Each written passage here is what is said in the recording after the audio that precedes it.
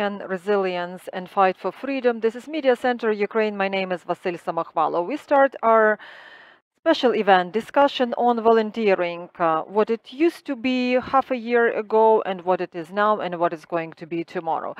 Um, let me introduce our guests today. Oksana Dashchakivska, head of the Regional Office of International Renaissance Foundation, Evelina Kurilets, executive director at Razom for Ukraine Charity Foundation, Halyna Bodrun, advisor to the head of Lviv Oblast Military Administration, chair of the Medical and Psychological Support Working Group. Is that correct? Yeah.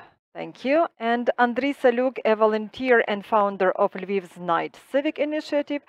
And uh, last but not least, Melaniya Podolyak, coordinator and manager of NEST project of Serhiy Prytula's Foundation in Lviv. Welcome. I'll start off with a very simple question. Yesterday, our volunteer group met with the leadership of uh, Verkhovna Rada of Ukraine, where they raised an issue that we need to address some pressing issues that complicate the life of volunteer movement. What is volunteer movement today? Let me begin. Speaking of us, for us, this is month six in the railway station of Lviv. We got organized uh, very fast, starting from 16 people. At the end of March, there were 1,000 people, and at the end of April, there were 1,500 people.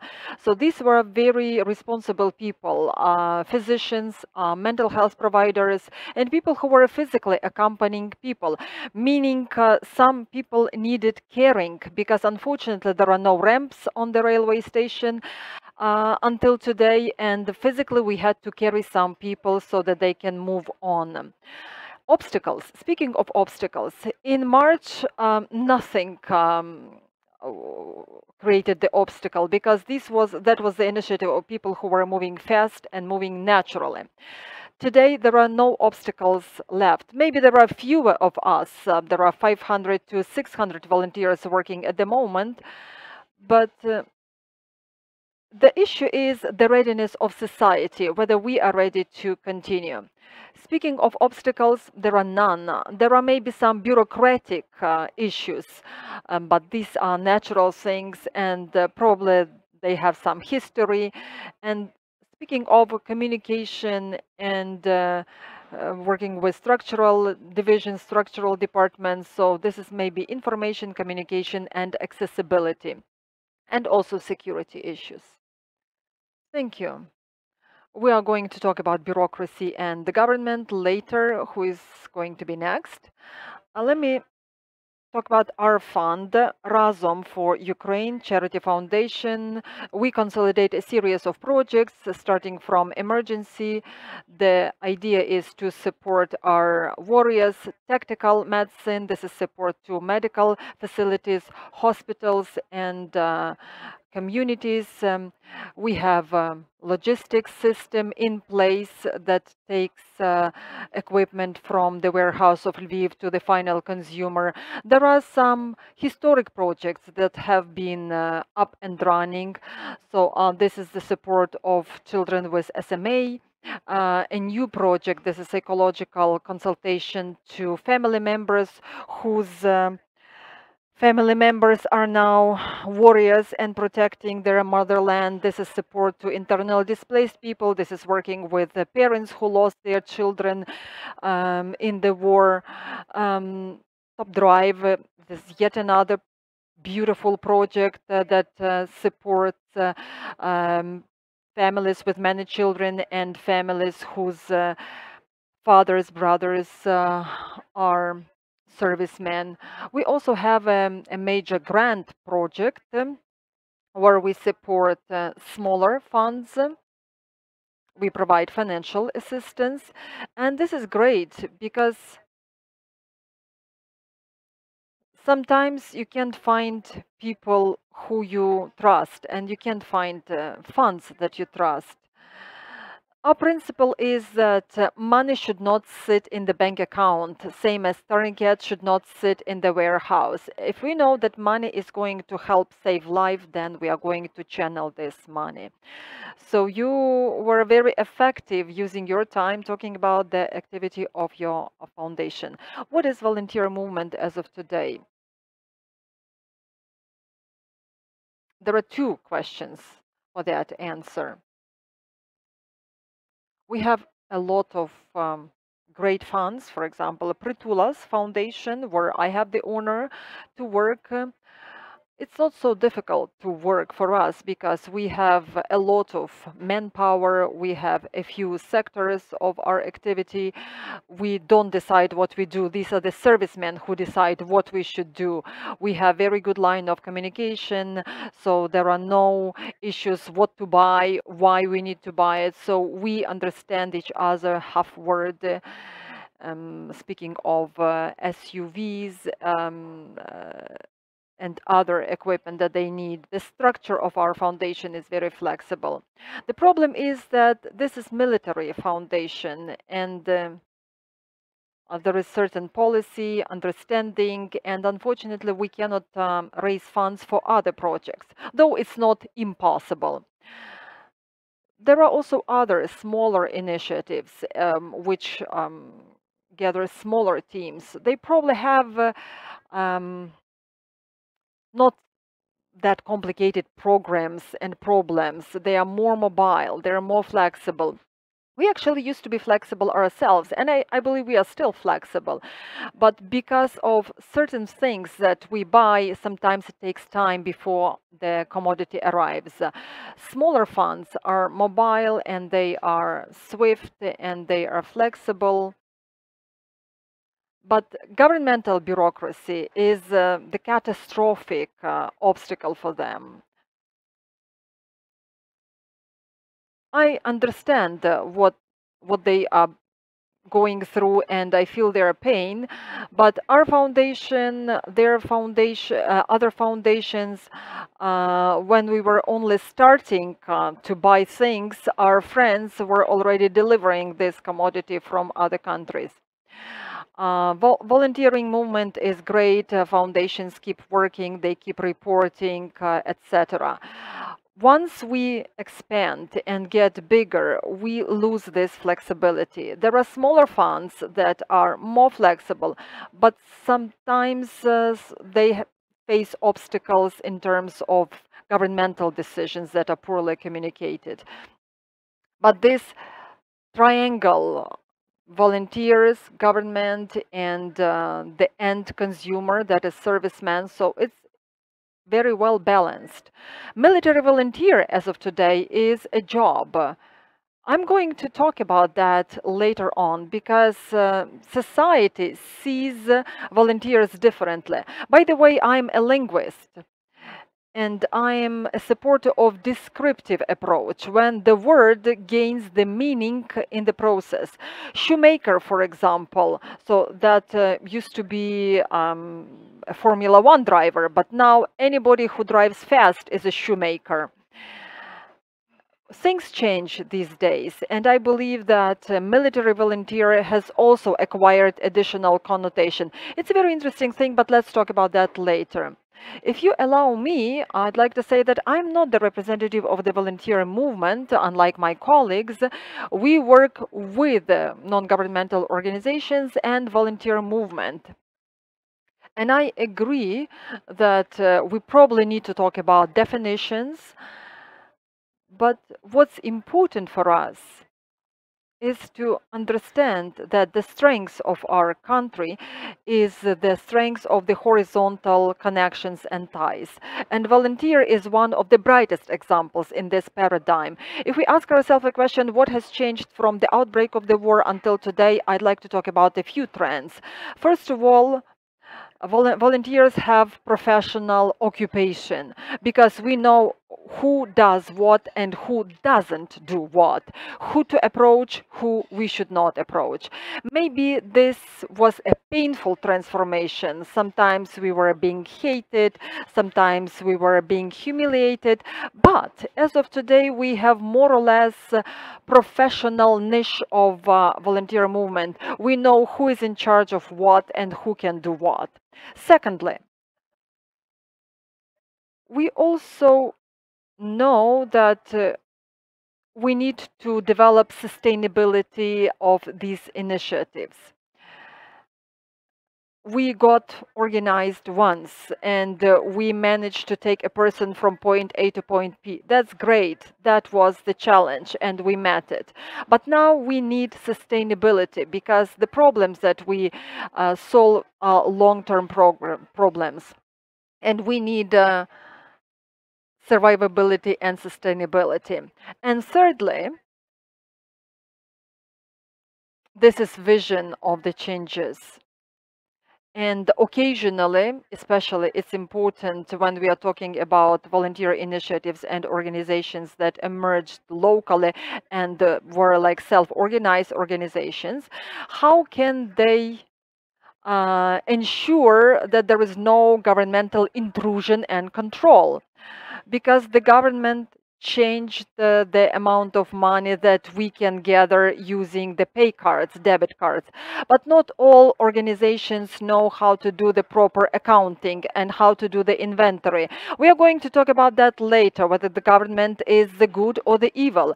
Back to what I was saying, this is the great um, challenge because it's also related to sustainability and occupational um, character of uh, uh, volunteer movement. But we need to learn how to cooperate with the government and how to work within the framework of effective um, legislation, although some methods are really frightening. Andriy, um, I represent Lviv's Knight Civic Initiative. Uh, we've been working for nine years. This is our ninth year, by the way. We started uh, in March um, 2014, we were working with the optics, uh, devices, equipment, etc. You are asking what has changed. Uh, uh, sadly, nothing has changed. Nothing has changed in the government because the devices, and that was the um, optic vision devices and uh, um, all sorts of equipment. So they weren't needed back then and they are still needed today. So it was a known fact what servicemen need in the front line. The government keeps saying that we are going to support volunteer movement. We don't need your support. The servicemen, the soldiers need your support because they have to fight, win, and survive. When we are talking about institutionalization of volunteer movement, uh, are we going to fight uh, until the rest of our lives. Personally, I want that Ukraine wins this war and I want to get back to what I had been doing before the war broke out. That was the uh, protection of national heritage. I don't want to be the warrior all my life. We are talking about this triangle, uh, volunteers, government and armed forces. I'm against this triangle. I think that there should be just armed forces and the government. We can send letters to our servicemen and to provide them moral support. But this is abnormal that we have to gather money for the drones, for vehicles, etc. So I think that a lot has been put on the shoulders of volunteers. You do things, we will regulate things, we will help you. We don't need your help. Do what you had to do back in 2014. Uh, provide the army with all they need, and then us, volunteers, will not have to gather money for the things that the government has to gather money for. A volunteer movement also exists in successful developed countries. I agree with you. I am ready to work as a volunteer protecting national heritage and uh, architectural uh, values. But what Lviv Knights does, so this is um, headsets, active headsets, uh, binoculars, uh, optic vision devices, etc. It's not normal because it's not part of our usual activity. We are working with different communities and um, as Oksana said, uh, not all communities are sustainable and not all communities are ready to take the responsibility. Our key message is to communicate, to understand the needs, where to send the person to the shelter, to the hospital, and whether the shelter is ready to open the door for that person. What's missing today is that um, these days there are a lot of initiative people who share their contacts but then they go missing and we hope that we can uh, contact that person but unfortunately they are not there so we have got three people on our staff who verify whether the contact is still effective because for example some people welcome somebody to welcome to host somebody and once we bring the person and the person is not there today volunteer is um, a fashionable job, a stylish job, it's a trendy job. And lots of cars had this label, volunteer, on their windshield. Because everybody was a volunteer. So uh, sometimes you go through the checkpoint and uh, the uh, serviceman on the checkpoint says that you are the 30th volunteer car that is driving to the railway station sometimes um, we had um, we, we face security issues and we need to involve uh, law enforcement in cooperation. When we are talking about security safety and volunteer movements so this is a very thin line because it's great responsibility. We as volunteers we work in a very narrow niche. So we provide fast assistance to people, stabilization, medical assistance, etc the circle of people who are ready to do it systematically and mind you this is months six of the war. Of course, I want the war to be over. I agree with Andriy that we need to get back to our usual pace of life because I did not plan to do that until today. And uh, sometimes you need to approach people who you trust and they approach people who they trust and then they come back and they do what you do. But this is our job on daily basis without weekends, 12 hours a day. We are burning out and we are getting getting exhausted. You're talking about um, sustainability, institutionalization, etc. Do you think that volunteers should be a job and we need to overcome two stigmas? People who are volunteers, so they face the choice that they need to earn money and they need to get remuneration for what they do, otherwise they won't survive. And the second is uh, if volunteers make money.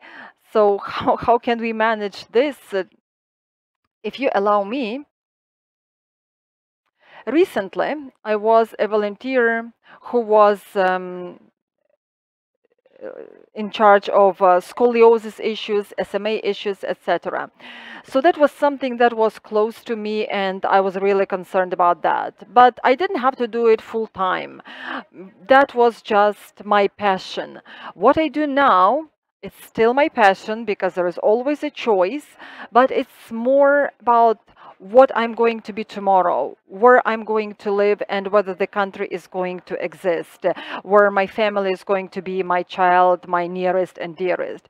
Speaking of volunteer movement as a job, I believe that most of us volunteered before the war, back in 2014, before the full-scale invasion.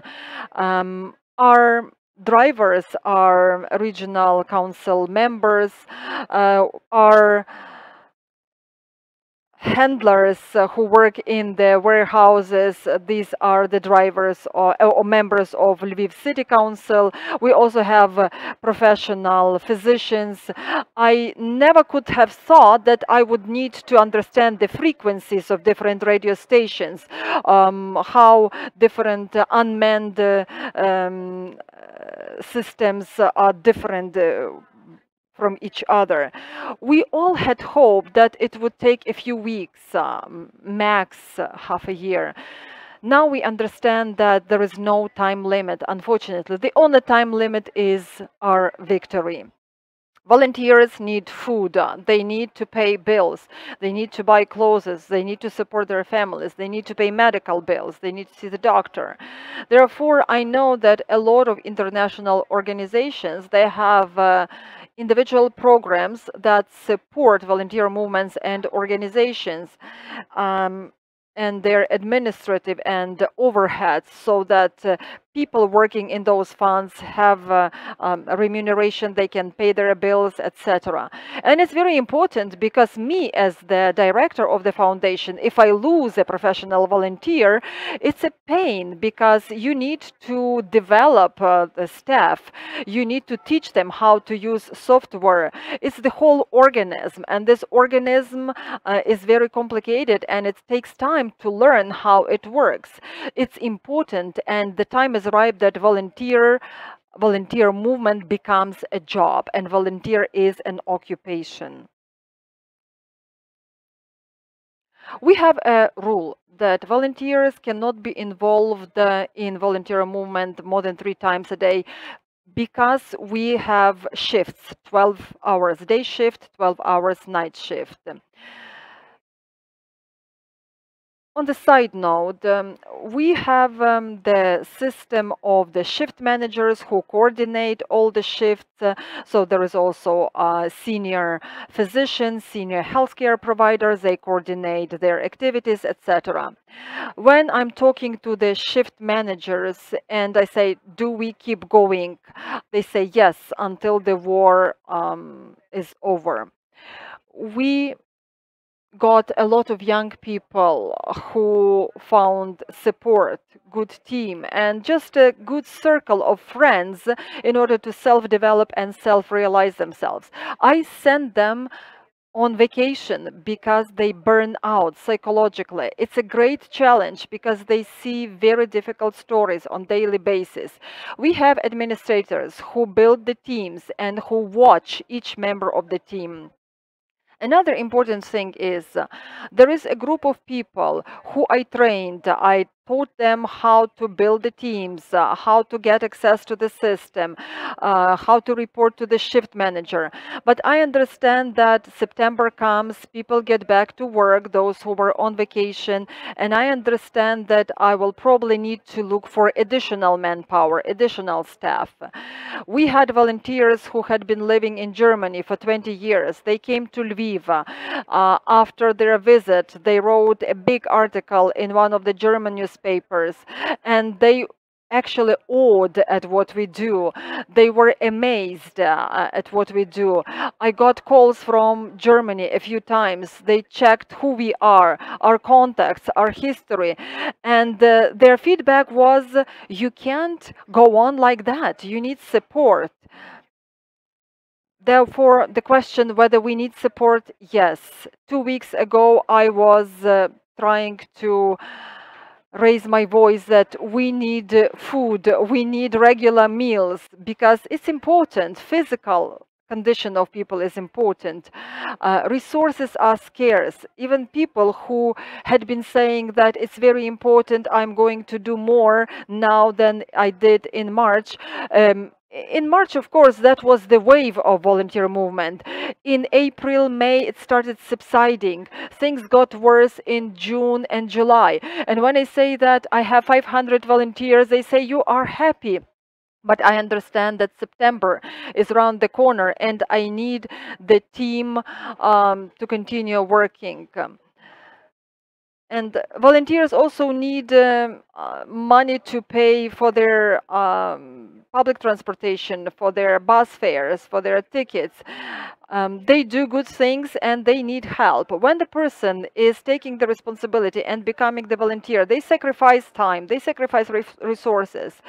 Uh, but we also make sure that each of our volunteers also have a at least part-time job or are they a student, what they do on daily basis. Because if they only do volunteer jobs, so they burn out. And uh, education, job and volunteer movement, this is important, but we need to uh, cover some of volunteers' expenses. I have three things to say. I'm going to be positive today. I don't see a big tragedy here that um, volunteer movement exists in Ukraine the way it is um, now. I understand that the Ministry of Defense had to do their job, but if we look at the funds, there are two major funds, Come Back Alive and Prytula's fund we probably do not cover all the budget of the Ministry of Defense, maybe 1%, but we are not in competition with them. Volunteer movement is a hard job. It's been six months that I have been deprived of food, sleep, and I don't feel at my best. But people want to belong, they want to be involved, they want to be dedicated. And even if people volunteer two times a month, it's great because they learn and they contribute. Um, institutionalization of this movement i doubt it. When when we are talking about remuneration of the job of uh, um, volunteers there is for example one uh, foundation that has a steering committee and supervisory committee and they uh, use part of their donations in order to remunerate the work of the volunteers. We don't do that but we cover part of the expenses of our volunteers. And I believe this is the right thing. There are also grant programs, and there are a lot of great programs that uh, help cover some overheads and institutional expenses. But things are not as pathetic as they might look. Uh, volunteers offer their supportive shoulder to the government. Uh, and we want to be involved. Uh, we want to be part of decision makers. Uh, i understand that we are not influencers but if we look at the work of ukrainian volunteers and when they look back they understand that they are are influential community. No we are talking about the job whether volunteer has to be a job. Um, my question for you will be is citizen a job yeah, we don't get remuneration for citizenship. In order to support our government, our country, our homeland, we all become volunteers. And uh, there are volunteers who work 24 7 in order to help other people and they don't have other resources. Do they have the right to get remuneration? Of course they do. When we are talking about institutionalization of volunteer movement, we keep emphasizing you have to do it professionally and then you will be rewarded. Of course, it contradicts the term volunteer in the classic understanding, but when we are talking about volunteer movement, I don't see any volunteers who are lawyers, I don't see volunteers who are teachers, uh, who worked with uh, uh, victims from uh, uh, communities who suffered the most and who um, made sure that they were integrated into the community. Volunteers, in our understanding, are those who help the armed forces of Ukraine. But volunteer is uh, a much broader uh, in, in this sense. So these are those who are ready to help. Yeah, we are talking about the obstacles we need to overcome in order to get to institutionalization. The society sees us differently depending on what sort of uh, experience they had and who they cooperated with among volunteer organizations. And this experience can be very, very different. We also know that some volunteers uh, uh, went missing and they uh, took the money with them and they took their bank card with them. Therefore, it's important uh, to make sure that there is uh, transparency, uh, openness, and accountability.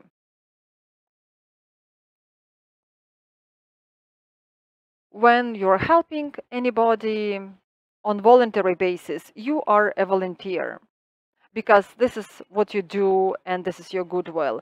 Once you get remuneration, you become an employee. We are not saying that this is bad, but this is an employee. Let's not call employees volunteers because um, there are people who are helping for many years uh, and this is their sincere position. So they either help internally displaced people they help the uh, armed forces of ukraine they deserve certain reputation and authority. But there are also people who want to make money on that and they say we are also volunteers so that's great image. But let's call a spade a spade. If there is a charity organization that is working uh, with volunteers it's it's normal there is administration of the non-governmental organization uh, I, will give you an example of my uh, organization. We restore, for example, ancient church. We have uh, staff of our organization. We have accountant, we have manager, and they get paid for their job. But we also involve volunteers who help us restore this old wooden church. Does that mean that we have to pay them remuneration? No. They are sincere in their desire to help. So we should call them volunteers. The others we call staff or employees. It's not name calling. It's not uh, offending anybody that you work better because you get paid there are employees of foundations employees of charity organizations of voluntary movement. So they do great job and we have to pay tribute to them. We have to give them the credit that they became professionals. They help and they do a lot. But should we call them volunteers? Do we really need to come up with a new word a new definition a new term? Uh, it's back to linguistics. Let's let's get back to linguistics. It's okay. Words tend to um, change their meaning and acquire new meaning, acquire new connotation. So when we are talking about um, um, this and this is a, a acute discussion. So let's sit down, let's create some joint uh, group, joint uh, task force and come up with a new word. But I don't see why we should do that. There is no problem here when you're trying to explain to Americans and we say that are Ukrainian volunteers, they say, are you a military volunteer? So they ask us, uh, what sort of volunteer are you? Are you meeting people in the railway station? I say, no, this is a different uh, group of volunteers. So uh, we can use different names. It might make sense, but uh, do volunteers get any privileges uh, because they are called volunteers? Uh, uh, what I'm talking about is that people who are volunteers and who get remuneration and who make career as a volunteer. So that's a totally different thing the head of fundraising department uh, of um, Come Back Alive Foundation, Oleg Karpenko, he posted on Twitter um, the message that we need volunteers, but people, uh, the first question they asked, how much do you pay? And he tried to explain that it's the idea is the cause that comes first, money comes second. We are now only talking theoretically about volunteer movement, uh, what's the ideal picture, and whether it makes sense to come up with new words, new mechanisms, etc. Uh, personally, I don't see any problems. I don't see um, uh, any issues. So once we remain transparent and public, sometimes um, some communities approached us and they say we need to cover utility bills and we were helping them. Okay let's talk about salary salary is the market. So there should be some employees. They have to have some qualifications. They have to have job uh, duties and responsibilities and they get their salary when we are talking about volunteers, we are talking about covering their expenses, their daily needs to buy food, to pay utility bills, and to have the bed, to have roof uh, over their head. I used to work in business in commercial institutions, but for me, it's very important. Uh, the quality of the work I do is very important. When I open the Center of Psychological Consultation, for me, it's important not to harm, not to hurt. Therefore, I opt for mental health providers with qualifications, with degree.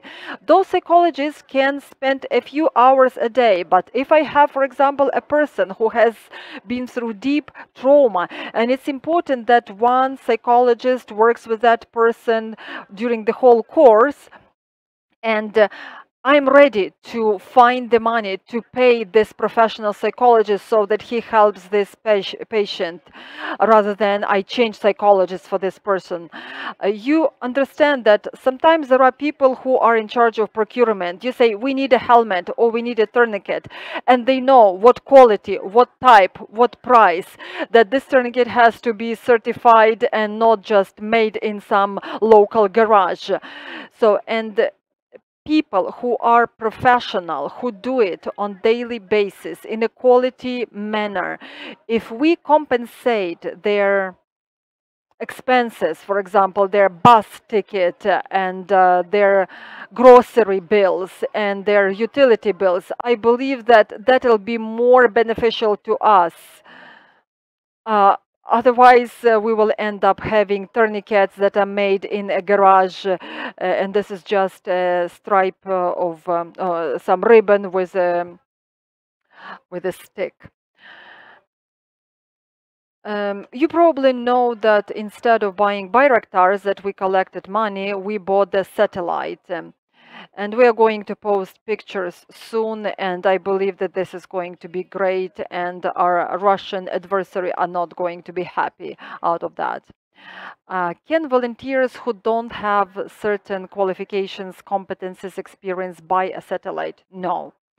Do we have to cultivate it? Unfortunately, yes, given today's circumstances we started talking about mental health providers. Um, of course, we cannot involve people who are not physicians and who are not, uh, who don't have a clue about the healthcare are volunteers who are physicians so they have their jobs they uh, do their shift during the day they do the shift with us during the night we have lots of partners who work in different uh, uh, areas different sectors some for example buy disposable cups uh, or find a better price for disposable uh, cups uh, disposable plates etc so sometimes we are multitaskers and we are multidisciplinary experts, so we do a lot of things. I believe that um, people who are great volunteers, who make great volunteers, are people who have a previous job experience. And also their mindset is um, shows the readiness. Sometimes when we don't have resources we don't have people but people come, they join our movement, they offer to do what they are good at we are also trying to cover some of their expenses. We are not talking about salaries here. It's just covering their basic expenses. I just want to assure you that today I've seen a different level of volunteers. These are people who are in their 60s. Some of them, they run their own businesses.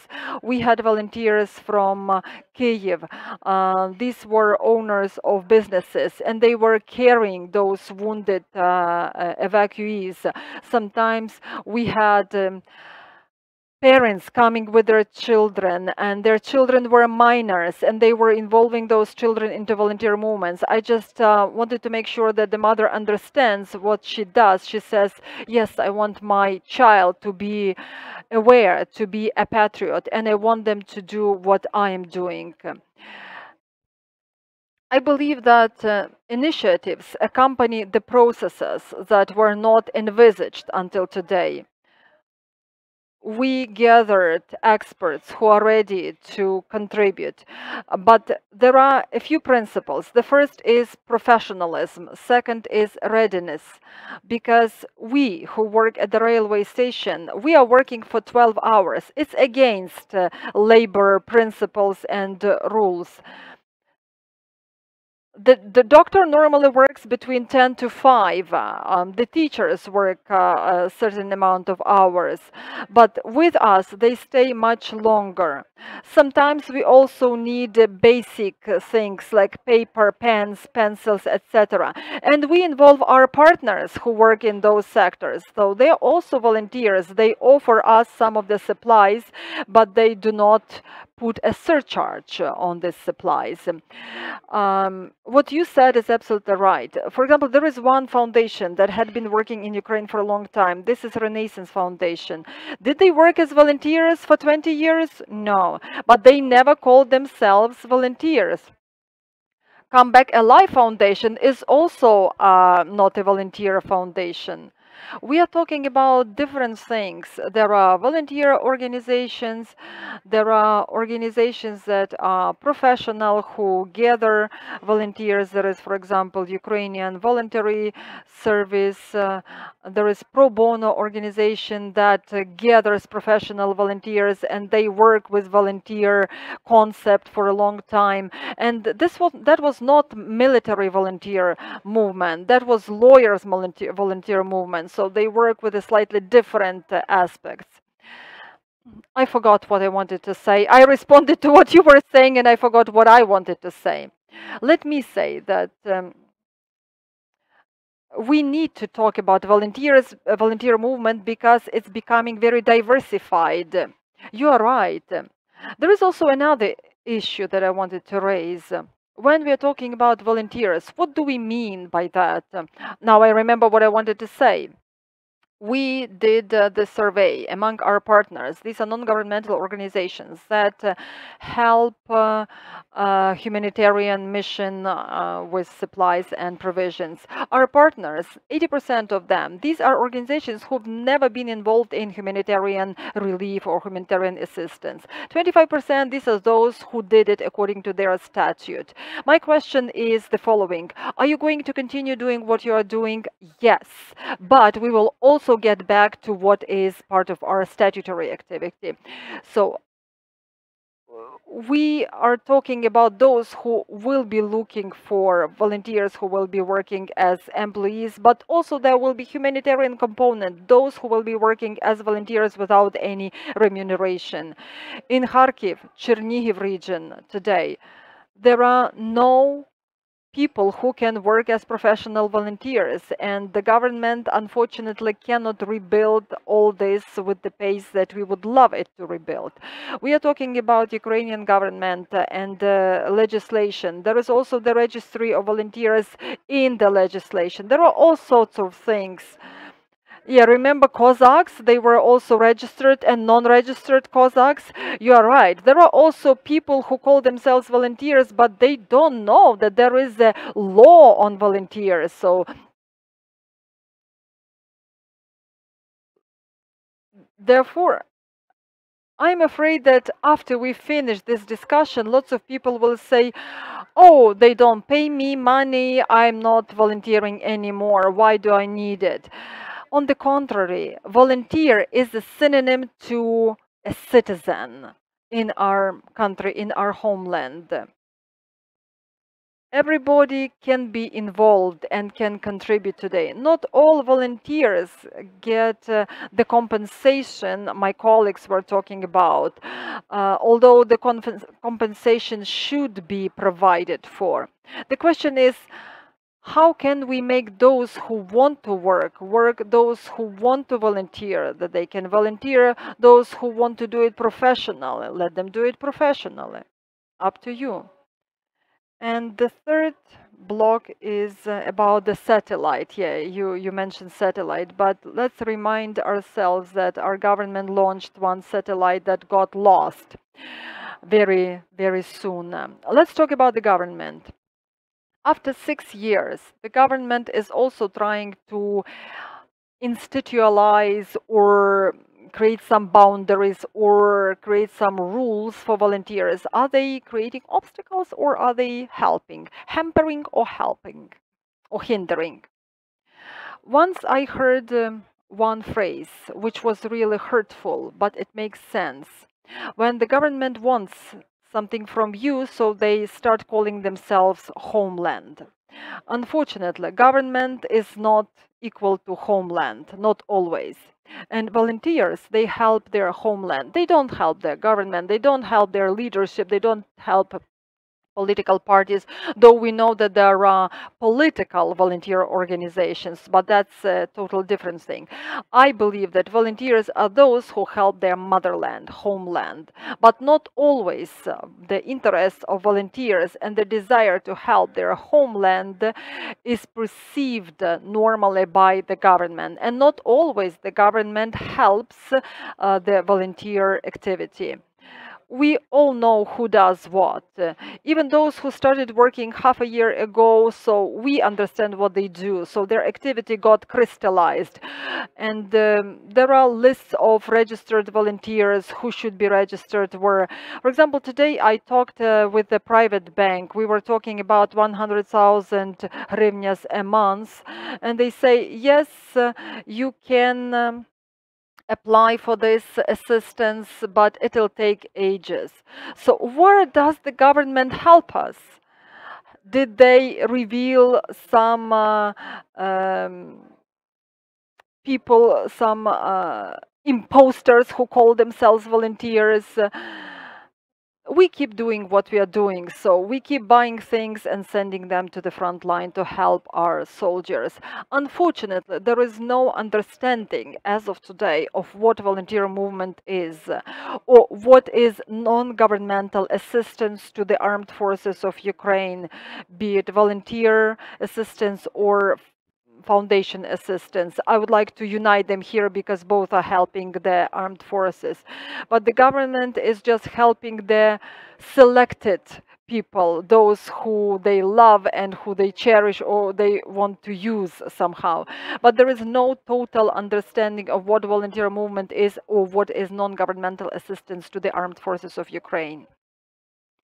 According to me, there is no government separately and me separately. I vote. I pay taxes. I make a choice whether to offer a bribe or not to offer a bribe. The government we see today and the, the, the country we see today, this is also my responsibility and this is what we make it. I will be honest with you. Do we have problems? Yes, we do. Are there problems with volunteer movement? Yes. Is there a problem with communication and cooperation? Yes. We are not going to pretend that everything is perfect in our garden, that there are no problems. There are problems, of course. But I'd like to see it as, for example, there is a problem you need to fix. Um, you need to make arrangements, you need to raise questions, you need to make changes into the legislation. We need to see it as some kind of change in the system. So there has to be the change in the system. Any process, any mechanism um, has to be improved. There is always the room for perfection. And uh, we cannot just uh, avoid responsibility let's ask ourselves honestly have you been paying taxes fully and honestly all your life uh, did you vote in every election did you work hard you may say I was not on the list, but did you make sure you are on the list? Uh, did you check uh, what sort of laws the um, members of parliament you elected voted for? I know lots of people who avoided the service in the army, who avoided being drafted. May I say something here? When we were talking about the personal responsibility, my son, he's uh, in the internship, his first year of internship. Um, he's a young um, doctor, doctor to be. And um, they were talking about with his friends the personal responsibility for their health. We started an initiative which is called Hear Your Doctor. That was just an initiative. We thought that um, it will be embraced, and we decided to go to schools and uh, we involved uh, young doctors. My role was to find them, to make arrangements with them.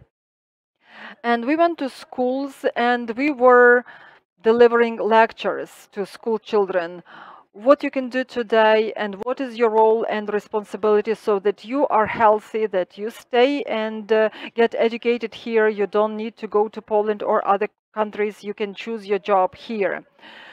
There were some teachers who stayed with their school children and they agreed to volunteer. There were some teachers who said that my day is over and I'm not going to stay here. Uh, there were also people who joined me later in the railway station in volunteer uh, activity. And there were also doctors uh, who were who took this responsibly and they also joined me later at the railway station. And when we realized in May that we are missing the roadmap, we got in small tips and we were um, knocking on the doors of each and every governmental department demanding what we need. I understand that what's happening in Lviv and what's happening in other small towns, these are to totally different things. The key thing here is resources. Sometimes we don't have enough resources. So when we are talking about the government, the country, so we are also talking about personal responsibility. We need to talk about things. We need to discuss things. It's not always easy, but when we have such communities, it's easy. Let's draw a parallel with the internet or cryptocurrency. For example, people invented something and then the government uh, steps in and say, we need to uh, introduce law and order here. So the question is as simple as that. Is the government helping or hindering. So where exactly are they still helping are they hindering? I don't like to take the side of the government. I don't like to defend them but the government does what they have to do according to their understanding. Unfortunately we don't have uh, institutional memory of uh, societal processes and uh, community processes so that we know what to do in each particular case the government um, th there are a lot of things we can criticize the government for, but they also do their work. They do what they can do. We also do what we can do. We work hard, but let's be honest, the government does a lot. Probably we cannot even assess the scope and scale of our work. Um, I know that the Ministry of Defense also does a lot. There is a lot to criticize them for, but I also think very highly of them. I'm not going to be very critical. I'm not talking about criticism. I'm just talking about this fine line where they help or where they hinder. I may like it or I may not like, like it, but the government has to step in because we are talking about money, a lot of money. So there are a lot of banking transactions with different sorts of currencies. Maybe the government doesn't want to pay attention to that. They want to turn a blind eye, but they step in and pay attention. These are the foundational things. There are processes um, uh, that have to be controlled because otherwise it will be dangerous. Remember the situation with the National Bank a while ago. Everybody understood theoretically why we do that. Maybe, uh, may I clarify something? When we are talking about big foundations, you are also talking about small funds, and they are also from the same environment. When the government creates favorable conditions only for big foundations and uh, hinders small foundations, what's going to happen? When we are talking about small uh, volunteers, I'm not talking about funds because legal entities that are registered as charity foundation they have totally different situation. They don't have problems. When I'm talking about small volunteers. I'm talking about physical entities, those who donate money either to our account or to our bank card. If you have institutional structure and you have the certificate saying that you are a non-for-profit organization, you have the statute, you have the head of organization, you have the accountant, you have different problems. It's not the, the disaster that we face. You're not we, you're not doing the procurement, invoicing, etc. When we are talking about uh, non-regulated cash flow, money flow, whether we want it or not, the government has to step step in. Same thing as uh, with the cryptocurrency. Yes, the governments had to step in because there are good people who are here in this room on this stage, but there are also malignant people. There are also bad actors, and we probably all know them. Therefore, it's unavoidable And the question to the government, not to us, uh, I agree with you, and I'll be honest, that they have to initiate the dialogue with us and they have to admit us to the dialogue because I believe that there will be changes to legislation about the charity activity because the law was introduced in 1998 and I believe that they will have to step in. We will have to step in and they will have to hear us and accept our position. Their problem is that they do not always hear us, and their excuse is war is going on in the country. There is no time for that. Uh, we are not against transparency, publicity. We are not against the governmental control and framework understanding where our competencies, rights, and responsibilities end or begin. But we need to talk about these things we are ready to talk to them. Whether they are ready to talk to us, that's another question. Sometimes I have a feeling that we are discussing whether the government is an evil or a necessary service. And when we are talking about the volunteer movement, uh, what the government should be here in this paradigm? I don't have a clear answer to this question. I, under, I think that Ukrainians have their own unique answer and they uh, are not trying to enter this uh, world global paradigm. I wanted to say something else here.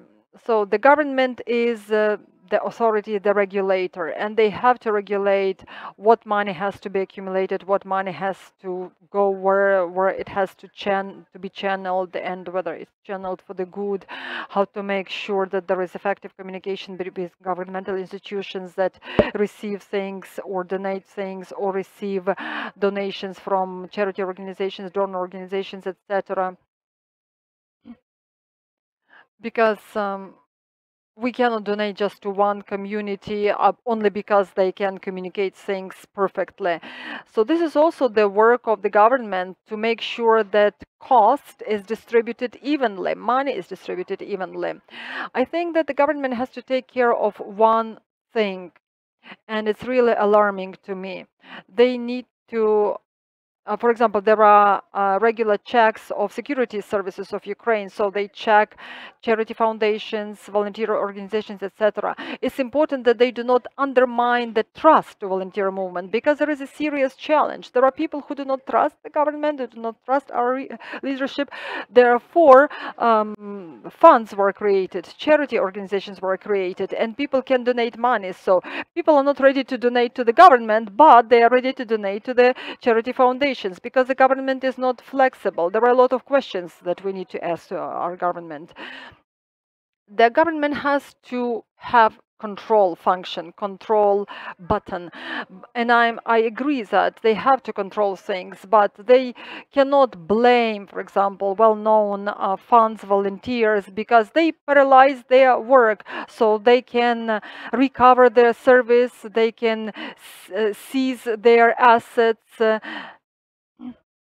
and uh, they they come to check their activity for no reason. Sometimes we know the reasons why they check their activities.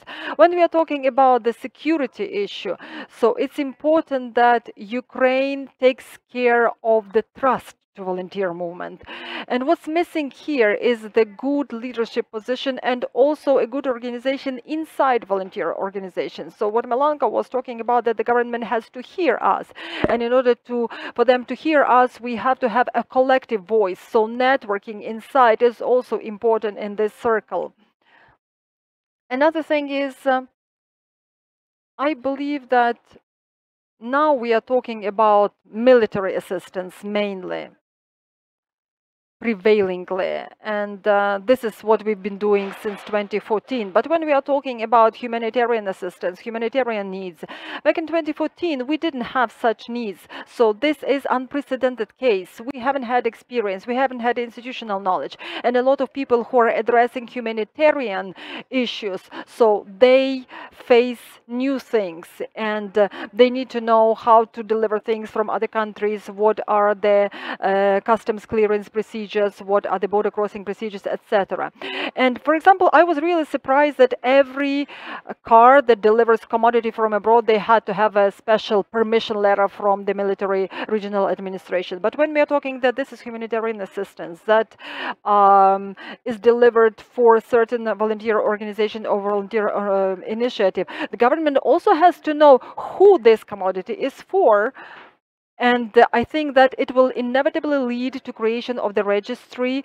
And uh, we need to know that this is organization that is reliable, that is delivering uh, humanitarian aid and not a pair of designer shoes that will be sold in the black market here. And I believe that this is the issue of trust that we have to work on altogether. There are a lot of risks today because there are certain things um, that are missing, some rules uh, haven't been perfected or haven't been uh, defined clearly. Some people have access to the government, some are hurt, some are not. I believe that this dialogue has to be open and it has to be transparent and it has to be um, available to everybody and those organizations that work for their community who help uh, armed forces of ukraine who helped rebuilding the country who helped with humanitarian relief who helped rebuilding the, the occupied territories they also deserve to be heard you summarized uh, very well that uh, back in 2015 there was a suggestion that there are non-governmental organizations there are charity organizations.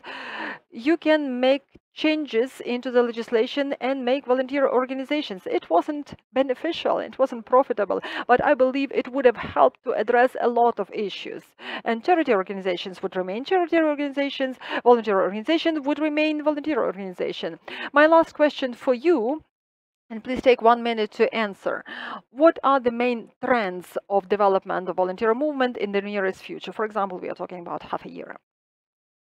And how it's going to change. One minute each. For some people, half a year is a lot of time. What is the planning horizon? I'm optimistic.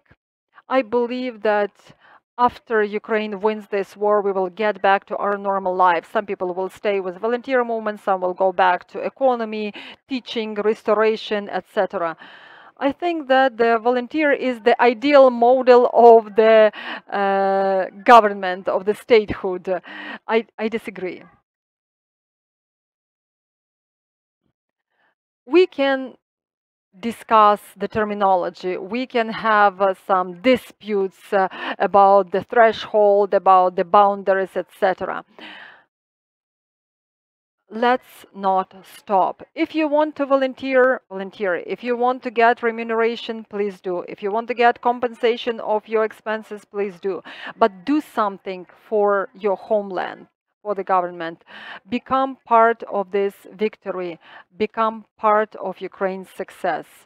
From my experience, I should say that there are a lot of young people who joined us in March. They didn't have idea what is the administrative services center, how to cross the border, where you can get your documents issued, and what is the single registry of governmental institutions. They were just living their normal life outside the, the government technicalities the moment when they started accompanying people and they started talking to these people, we were instructing them very clearly where this person is heading, how to cross the border, whether they will be uh, provided medical health care.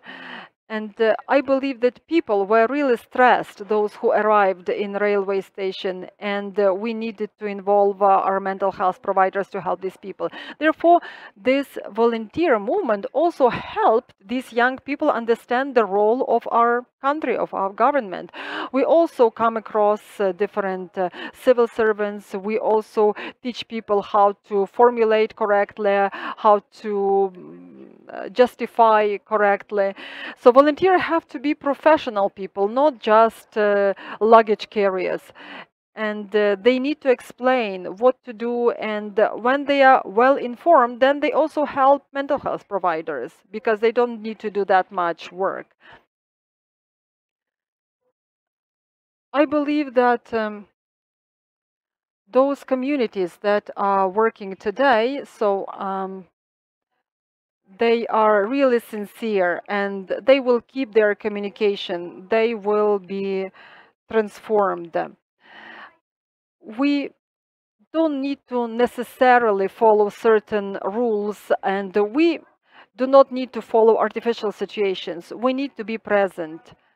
We do things, we see the challenge, we can delegate sometimes uh, this challenge to somebody, we can contribute our time, our resources, ourselves. You mentioned the word professional volunteer movement. So this is when you do things effectively. You do what you are good at, and it's not about the money. You keep donating, but you also need to pay for the bus ticket in order to arrive at where you have to be depending on what we see in the country, I believe that there is now the whole wave of people who are not indifferent and who have been doing things for months. Andriy mentioned that they've been doing things for years, since 2014. And people who join us in what we do, so they were all active back in 2014. It means that we have the history of good, sustainable volunteer movement. And these people are getting um, more and more united we have the head of our military unit of our foundation, Roman Sinitsyn. He's been working since 2014 and he said he always keeps saying that things are going to get worse. And I agree. Um, things will be bad uh, until Russia exists, um, uh, and we will always be busy until Russia exists. I think that it was mid-March. Uh, we had uh, a meeting in our foundation, and uh, I remember saying that it's not a sprint, it's a marathon. So we have to be prepared to run long, and it's going to be tiring. We've been running for six months, and I think that we are all tired. We want to approach our victory. But our victory is not around the corner, unfortunately.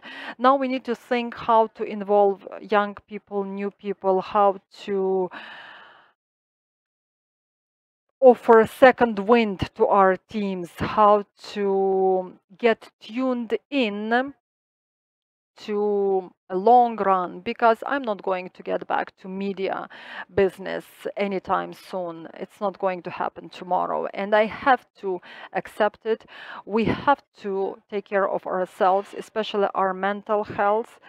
I never thought that mental health is important uh, until I burned out. And I think that uh, mental health is important for volunteers, for professionals. And I think this is going to be um, another major stage of their functioning because if we all are tired and if we all stop working, I believe this is not going to be good for anybody. When I'm analyzing the six months, looking back at six months, I think um, Ukrainian volunteers, Ukrainian people, Ukrainian charity foundations. So this is the big war machine. It's a one great war machine. It's the star of death. I believe that everything is okay.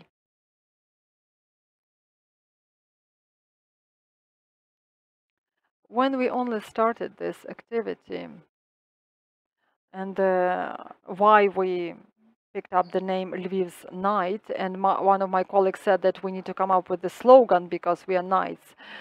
We came up with the slogan that the war is uh, about everybody and the victory depends on everybody.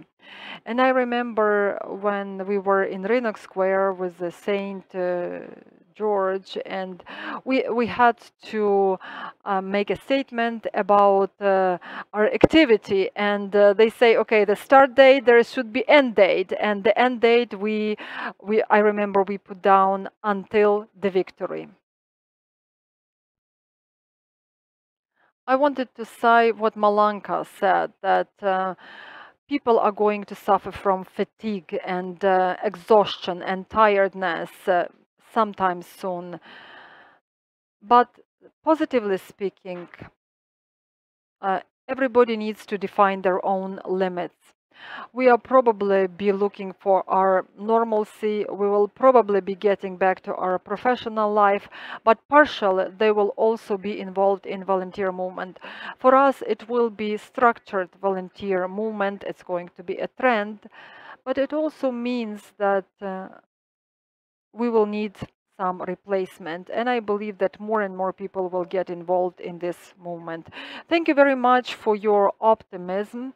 We were talking about volunteer movement. Uh, I believe that we could have talked more and longer. But let me just um, remind you who our guests uh, today were.